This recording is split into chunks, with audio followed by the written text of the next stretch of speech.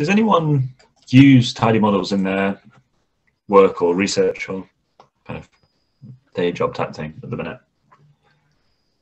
I use it. Um, yeah, it's um, uh, mo- mostly for um, feature engineering and testing different kind of model types or anything else. Um, yeah, it's, uh, it's pretty good. Um, I mostly stole a lot of my techniques from um, business science. Uh, well, rather, I, have um, I do a course with um, uh, the Learning Labs from Matt Dancho, and um, he's got some really good techniques on there. So, I tend to utilize a lot of stuff over there because I've got really good um, time series information, and um, they also use Tidy, uh, sorry, Time TK, and Tidy Quant and stuff like that. And those are all really well structured packages that are great for time series. Whereas a lot of other communities don't do that well with time series. Uh, but yeah, tidy models work just well for that. Yeah, I started to use it a little bit recently at work. It's I, I do not, but it's it's on my list. I was I was thinking about it, especially with this stuff. I was like, this, yeah, you know, I need to start it. Sorry, Sean. Yeah, yeah, me too. I haven't started it, but uh, I'm planning to use it. And, and yesterday I was uh, looking at something like machine learning bars, ML bars, um, which is like um, kind of uh, using Torch, uh, PyTorch uh, in R. Uh, so this is also another direction in R, right? machine learning mlverse. That's a package or mlverse? Yeah, ML bars, uh, Torch for R. They are writing also another book um, using PyTorch, uh, using Torch for R mlverse. Uh, let me see. So I think now now they have a native like torch implementation in R, I think, right? Yeah.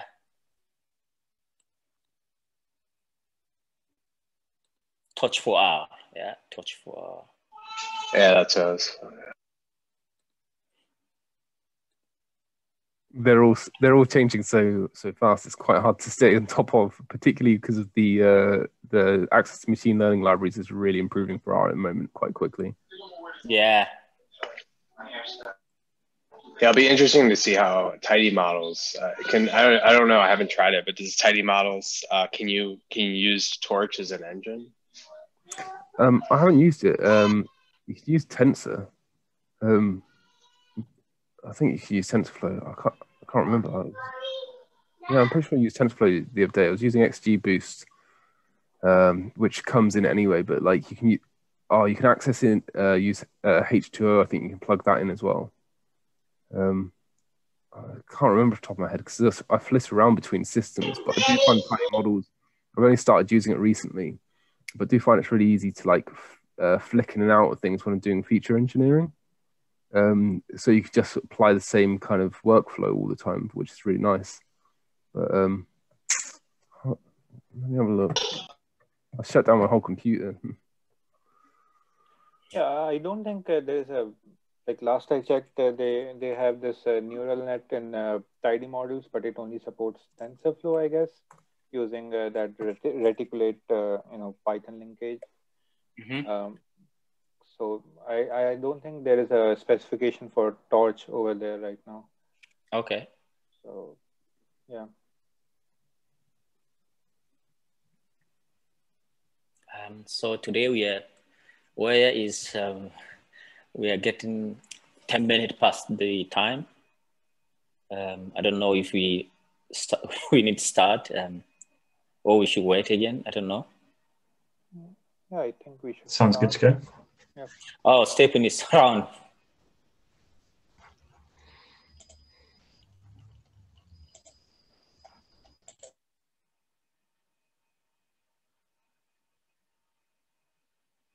All right, I think um, Stephen.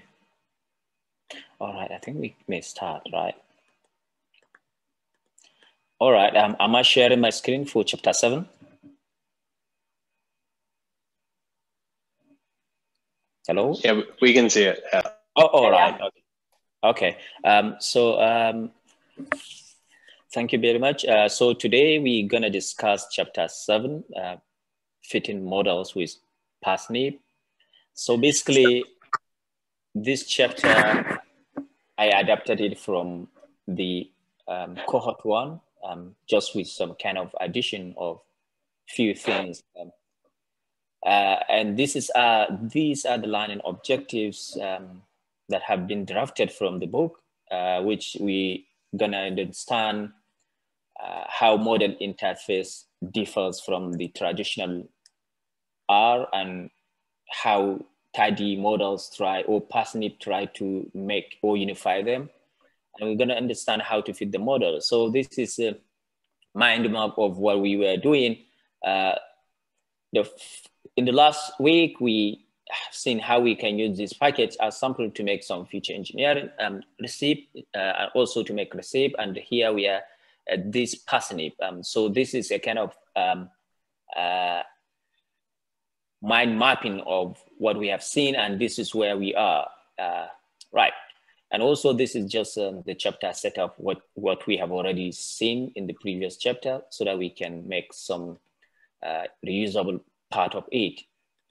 Right, so let's get going. So um, one of the problem with traditional OBSR models is different model interface, which is uh, very um, somehow problematic in the sense that um, different models use a different interface and people need to understand these kind of differences, uh, no matter how uh, the number of models you want to use. But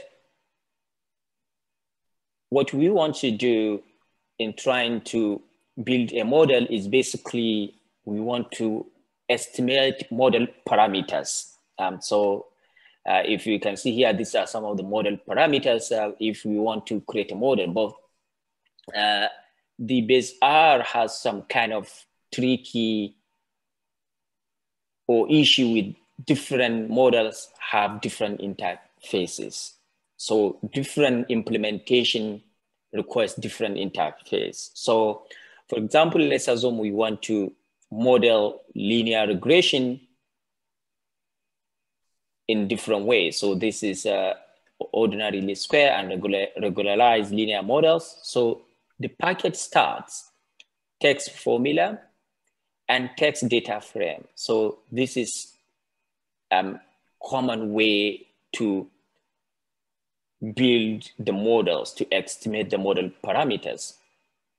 But glmnet use different interface or use different approach where we have XY interface, not a data frame, but it uses a matrix where we provide the X and Y. And if one use, you're gonna use different kind of models, then you should remember which models use data frame, which models use X and Y, interface. So there is a need to have some commonalities among all these kind of um, these models. If you are familiar with um, Python, where in their machine learning package, uh, what do you call it? Uh, you see, they have the same commonality where everything you do is the same. So this is the aim of Parsnip to make such kind of interface the same. So this is one of the problems. To fit models across different package, the data must be formatted in different ways, as we can see here, X or Y. This different require memorization of a package and can be very frustrating. Um, so Parsnip comes along to make this interface uniform, one unique. And that's why we have generalized model specification approach in Parsnip.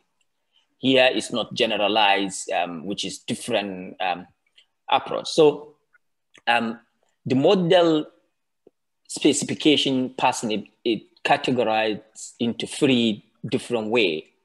Uh, the first thing is specify, the model type. Um, so for instance, if it is linear, then this is the first step. You need to specify if it is random forest, you need to specify. That is the philosophy of Parsnip to make unification of the interfaces among different models. After you specify the model type, the second thing you need is to specify the engine. Um, so this is the engine um, you need to specify just the package implementation. If it is a random forest, you specify it. And the last one, which is optional to declare a mode. So a mode, um, we declare a mode in the sense that we say, okay, this is classification or linear regression. So this declaring of mode is optional. Um, if a package or um, an engine does only one category, for instance, uh, an engine does classification, then it is automatically defined for that. You don't need to specify the mode. If it does linear regression, or um, uh, if it does class uh, regression only, you don't need to specify the mode. But if a model does two, both classification and regression, then you can specify the mode by saying if it is regression or if it is classification, like random forest. So uh, personally, uh, in attempt to make uniform interface, it use three things, uh, as we can see here, trying to build a model specification. This is the first specify the model. Here we want to uh, build, uh, create a model, uh, just as the previous um, example we see in the previous section. Um, so here we said, okay, this model is linear regression. So we specify the model. And the next thing is to set the engine, um, LM. Uh, so they set the engine. And the last parameter, as we said, which is to set the mode uh, is optional. As we can see here, we, we need not to set the that parameter because it is automatically set. But if, for instance, here we have uh, random forest, um, we can set um, the, the mode parameter, whether we need um, classification or regression. So this is basically um, how the model interface is defined. So we can see Parsnip um, actually uh, solve the issue of having the uh, different interface. So you can have the same structure for every model. All you need to put is to um, specify the model, uh, the model, and also the engine. Uh, so after we specify the model interface, the next thing is to uh, fit the model. Um, so we can fit the model using two ways. The first, we can use fit and we can use fit XY. And as you can see here, this is an example of uh, model specification here we define, right? Um, now we can call this method fit and uh, provide this formula. And also we can use this uh, fit XY. So you can see we use the same thing. Uh, so here we fit the model. So uh, there is uh, something here they said when fit is used with a model specification, this almost always means that dummy variable will be created from qualitative predictors.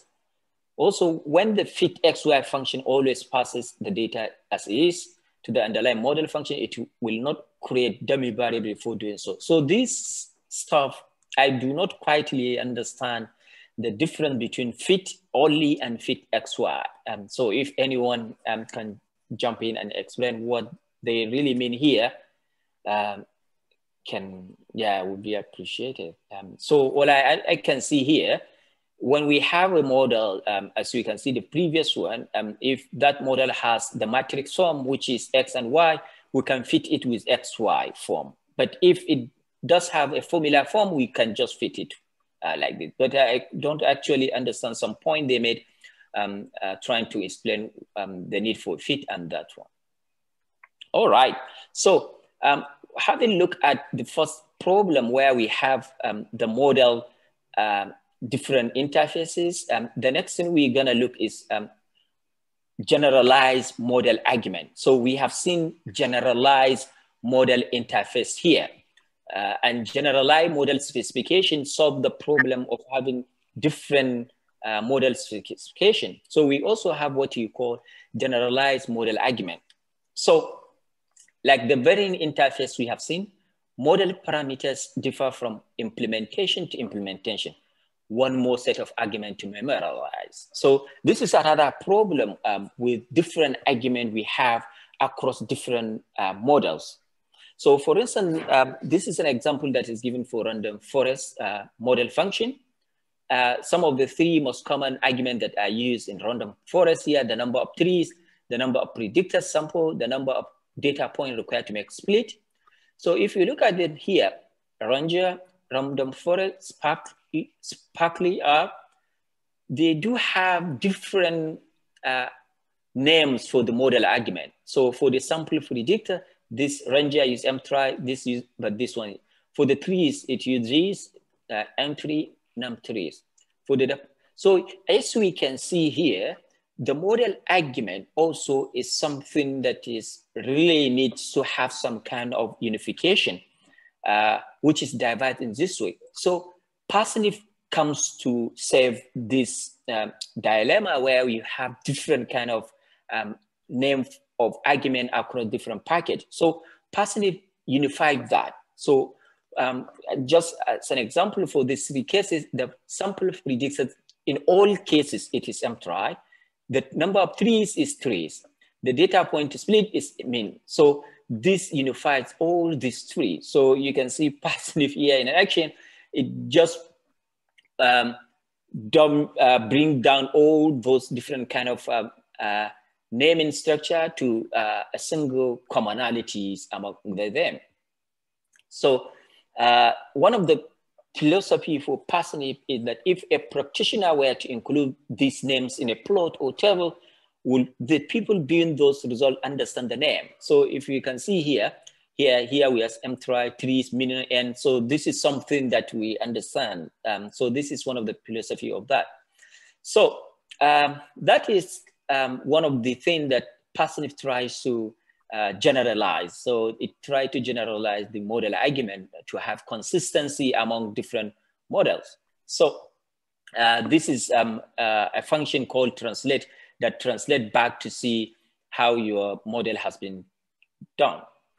Right. So the next thing again is engine specific argument. So we can see here these arguments, they are some of the arguments that are common use in these, um, in these um, packages. But there are some arguments that are specific maybe to Ranger. There are some arguments that are specific to random forest. There are some arguments that are specific to this package.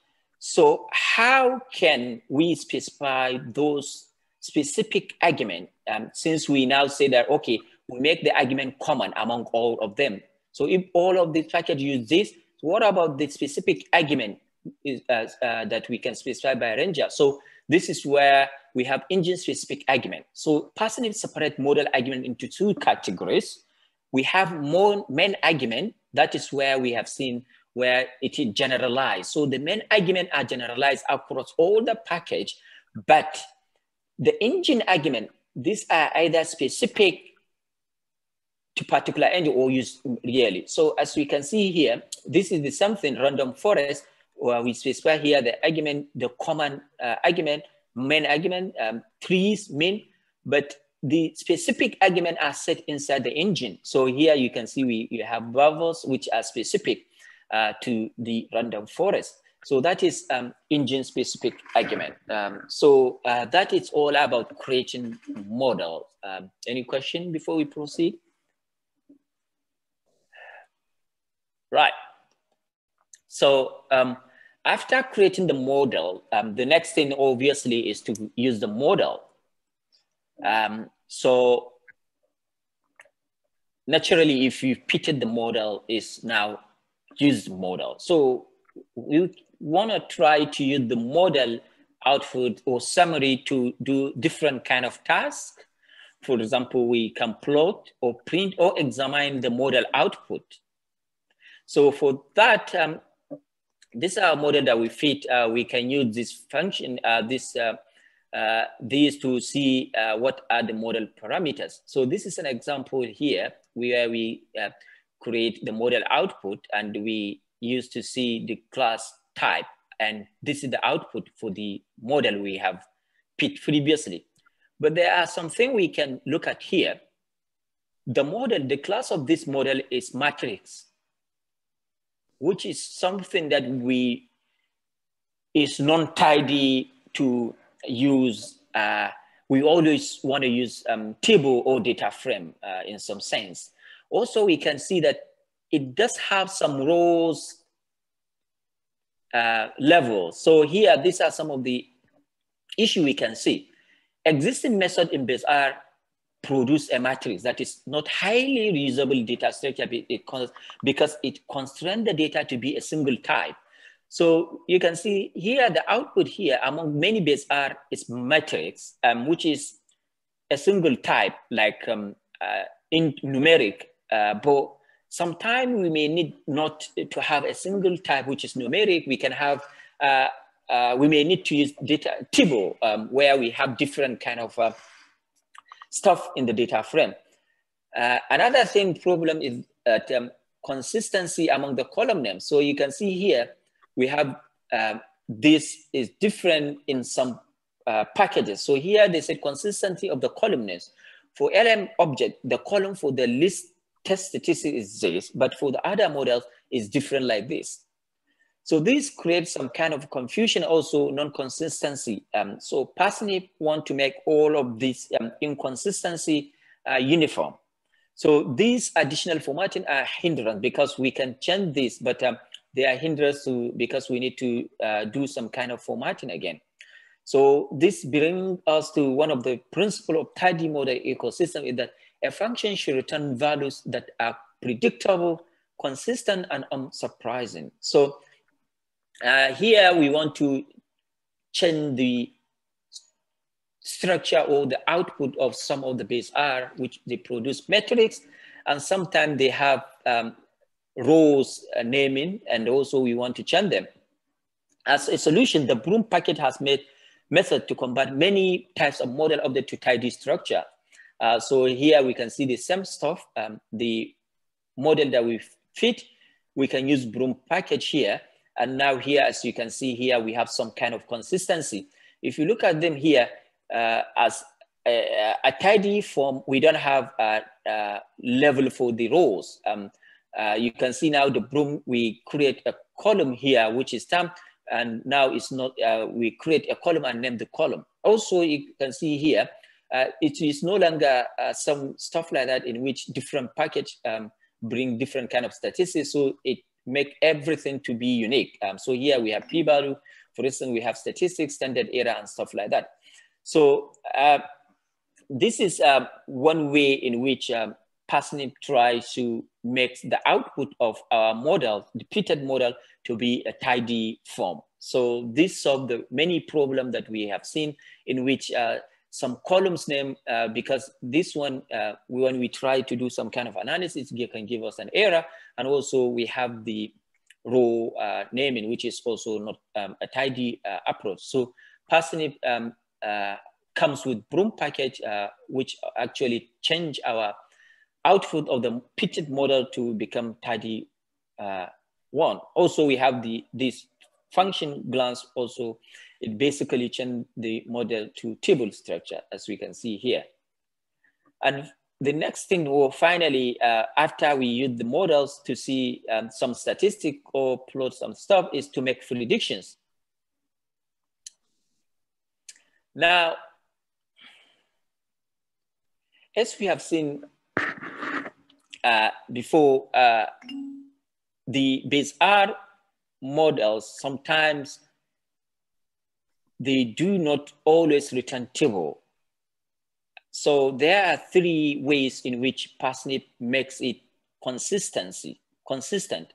The first one is it always return a table. So some base R packet producing the similar data type from prediction function, example, numeric matrix, character matrix. So what this means is that what we're gonna have is that the prediction result will always returns a matrix. Um, I mean, it all it will always returns a table. As we can see here, uh, this is uh, the data frame here. We slice it, and this is a fitted model, and we uh, provide um, the new data here. And as we can see, this is a table. The next one is column names are predictable. So what does that mean is that the column names in Parsnip are always predictable.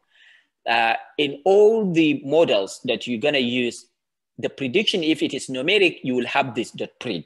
And why we have dot is that some uh, columns names in tidy approach may have an argument or um, a column name complete uh, pred, and so we use dot pred to define it. If it is classification tags, you have pred class. So as we can see here, uh, that is the second uh, rule. Column names are always predictable. The third one is that return the same number of rows as in the data set. So here, as you can see, we slice the first five, um, and now here the prediction returns the five arguments. So these are the three rules in which the prediction always abide by these three rules. The first one is it returns table is always. The second one is column names are predictable. So it has some consistency among all. The column names are the same along all the uh, model that we're gonna use and always return the same number of uh, rows are we gonna see. So this is also another example, uh, as we can see here. Uh, this allow us also to uh, easily bind some prediction with the data set we have. As we can see here, we have our data set and uh, we uh, make this prediction. And also here we have another one where we bind it together. So this allow us to bind many uh, prediction and we can see it in one go. So um, why do we standardize all this? So they say a main advantage of standardizing the model interface and prediction type in Parsnip is that when different models are used, the syntax are identical. So this is one the greatest advantage of using Parsnip. So when we use different models, the syntax are the same.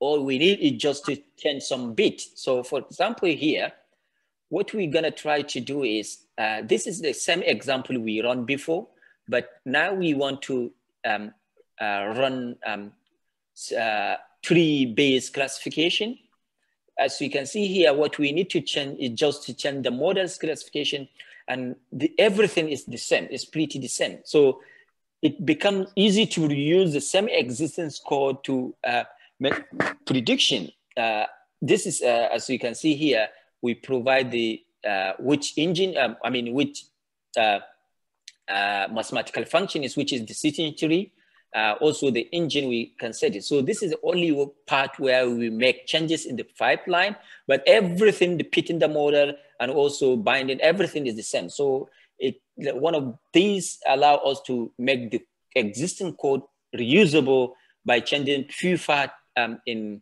uh, model specification to run many model at the same time. So that is um, making prediction. Uh, uh, then the next thing is uh, something called um. Uh, so what he discussed here is that uh, there are some kind of adjacent packages that exhibit the behavior of uh, Parsnip. Uh, one of the package is discrim package, which actually allow us to do some kind of classification.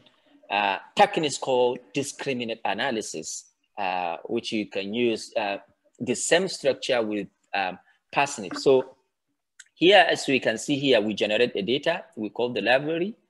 And here, discrete flexible, it just we, here we as we find the architecture, or I can say the mathematical function we want. Um, here we set the engine here, the same. So this is basically uh, something uh, that is not in Parsnip, but adjacent function that uh, they exhibit the same uh, structure with Parsnip package. Uh, so here, this is an example. This example is not from the book, but um, is from Parsnip, uh, I mean, discrim package page. Uh, and I just, uh, just copy it and just to show that this is just the changes we have. As you can see, everything will be the same. Um, the, the way we fit the model, uh, we specify this and we set the engine and we fit. Uh, so yeah, so this is the consistency they uh, aiming that everything will have some kind of level of consistency across the fitting model of different kind. Uh, so the next one is um, tools for creating model specification. So uh, this is the last part of the chapter, which says um, since the parsnip creates something which is consistent among different models, so it makes sense to create some kind of boilerplate code for tidy models and just changes some stuff along the way because I mean, it's really the same for every model you want to fit. So the use model packet is helpful uh, way to create a boilerplate code for tidy models.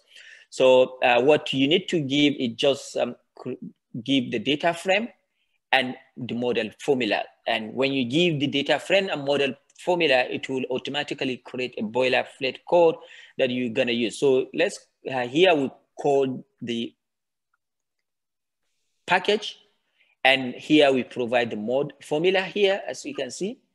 And it will automatically create this specification for us. Um, so you can see here.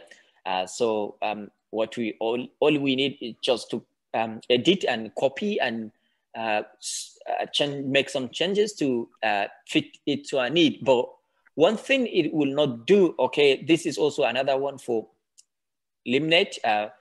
It will automatically generate, generate the code um, for you. Um, all you need is just to make some uh, edit and that suits your needs. But uh, one thing that cannot be automated is um, resampling method. The code template requires the user to choose the rsample function that is appropriate. So uh, this is one thing that cannot be done, I think, um, done uh, for Parsnip. So you need to uh, select the sampling method uh, but it will automatically generate this kind of boilerplate code that is common among different kind of models. Uh, another uh, tools is parsnip add-in. So uh, RStudio comes with another add-in uh, parsnip uh, that can also be used to generate a boilerplate code that can be used to uh, fit models or specify the model and stuff like that. Um, yeah, so uh, that is all about the chapter, um, fitting everything together. Uh, so to create a common interface, uh, we can see uh, three, what we can do is give the more mathematical model, whether linear regression and stuff like that, uh, set the engine implementation, and set the mode if needed. And also we have seen argument can vary whether we have main argument or, um, or sp specific argument. So for the main argument, we um, have some consistency among all the models, but some argument are specific to the particular engine, and we use um, we use engine specification to provide them, such as verbose, num.threads. Uh, also, we have seen uh, predictable behavior of uh, predictions. Um, it is always stable and tabular, same number of deviation uh, for if we use prediction function. So um, this is the last part of the chapter, which summarized what we have seen here. Um, this one is all what we have seen in the previous chapter, uh, but here is what we have seen this chapter to set the model, set the engine, and that is end for this chapter. Uh, so as I said, this chapter is really small. Um, yeah, so um, the next chapter, basically um, what we will see, it combine a workflow in which we can combine the feature engineering of recipe and passing it uh, into a single workflow. Uh, but now at this chapter, we can we have seen how we can use Parsnip package um, to provide um, consistency among uh, different model interfaces and uh, consistency among predictable uh, behavior among uh, the prediction output among different implementation. Right. So um, that is it. Um, any question?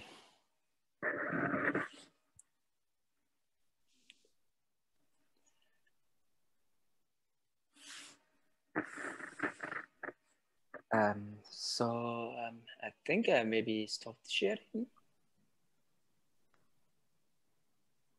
That was great. Thanks, Sean. All right. So any question before we no question.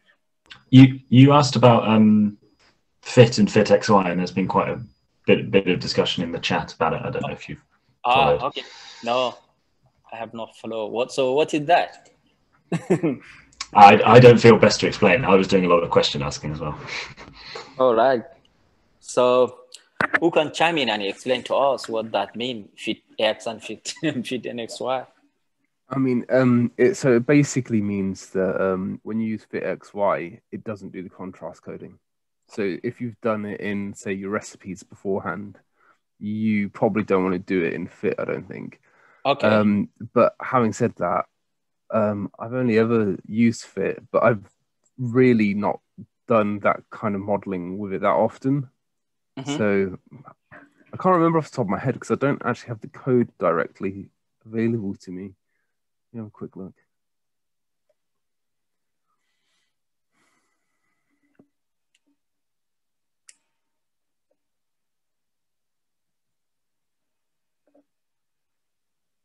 All right. I just put put in the chat as well, but there's a there's this line about using fit and predict. Although maybe maybe I'm Hmm. Okay. although I don't know. Hold on, I think I've I think that's actually fit as in the parameter of the sorry of the object, not as in using fit the function. But maybe that's an argument for trying to use fit x y is that you can get those things mixed up. Yeah, so I'm just looking at my um looking at my code testing code here. Um and as far as I can see, I've only used fit throughout, but I don't think any of these are using uh categorical variables. And if you've got a categorical variable and it's got a lot of levels, you probably want to leave out anyway. Um yeah, I don't have a good example here that would suit uh, when you would use fit xy. So I presume that's probably why I haven't uh, why I haven't used it. Okay. So for now, for me, I'm I'm not quite sure when I should use the fit XY and fit X and fit. So um, but I just assume if I want to work, I would just use fit for now. Yeah. Yeah, I mean, uh, Yeah, I guess fit- if you're just sorry. Yeah. Okay. Um, so, um, like, I believe that, like, even even I've used Fit itself. Like, I haven't really used Fit XY, but uh, you know, reading the book itself, uh, it seems like uh, you know, if you're doing the pre-processing stuff, uh, Mhm. uh, creating the dummy variables, encoding everything, Yeah. you know, for the sake of consistency, you should use Fit XY because you know you're not letting the code to decide on its own whether it's a categorical variable and it should be created. Um, you know, a dummy variable should be encoded from it. So you know, just for the sake of consistency, uh, we should be using uh, Fit XY. I, I think so.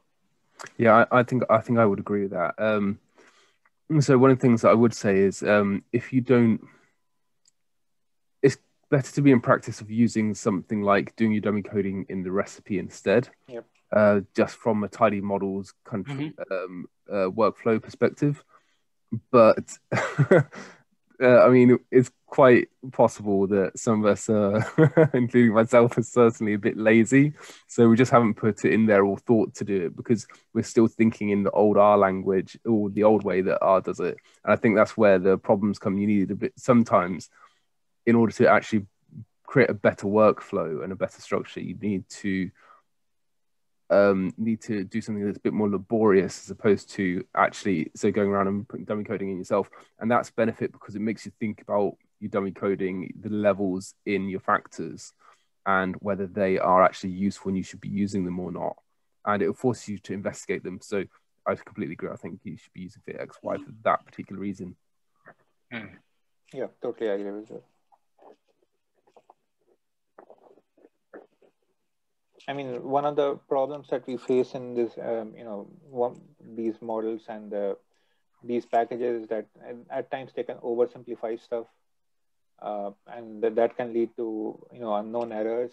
Uh, like the classic cases of uh, that scikit-learn that was, you know, by default it, it implements L2, I think L1 or L2 regularization uh, even even even if you don't specify it. Uh, so like uh, I I read that you know uh, a bunch of scientific papers got redacted because uh, you know it was automatically using a regularization, whereas the authors didn't know about it. Oh, Yeah. yeah, right. So, um, Yeah, so I was thinking, um, so the tidy models have, um, I was thinking like this torch they are doing separately. Um, I was thinking, why don't it have the same in the same ecosystem with the tidy model? So I can see they're creating different ecosystem with this torch, um, this torch package. Um, I don't know, um, does it have some kind of um, relationship with the tidy models? I think tidy models would have to develop a like an integration. So so I think like I think it seems like a lot of what tidy models is doing is like translating the standard Mhm. to to whatever implementation there is. You know, so I think it would just have to build that bridge, you know, um, in that sense. But that was actually what I was wondering in the chat is if tidy models becomes more ubiquitous in use, like maybe people will start writing packages that makes that easier to do Hmm. you know like uh, instead of tidy models having to be like oh there's 15 different ways of writing you know the same thing uh, let's figure out how to do it how to translate it to this implementation um, um, yeah Uh, or maybe tidy models itself developing like uh, modeling uh, extensions or something i don't know be interesting Yeah. Just so you know, um, you can use uh, in Parsnip. You can use the show engines and then select the kind of method that you want to use. Uh, so like linear regression, and then it will show you what engines available. And when you do that, um, the uh, what I'm looking at at the moment is the linear regression one, which is actually on the website.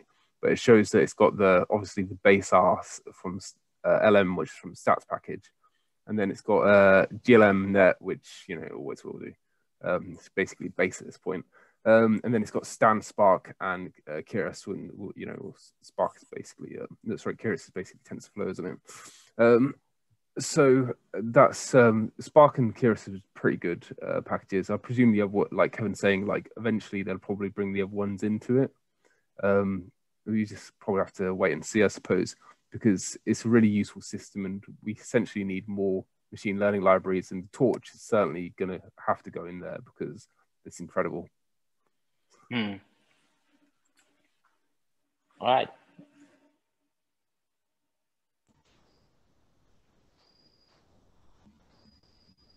Well, so I guess um so today's session has ended. Um, uh, if we don't have uh, much to discuss, um, I think uh, yeah.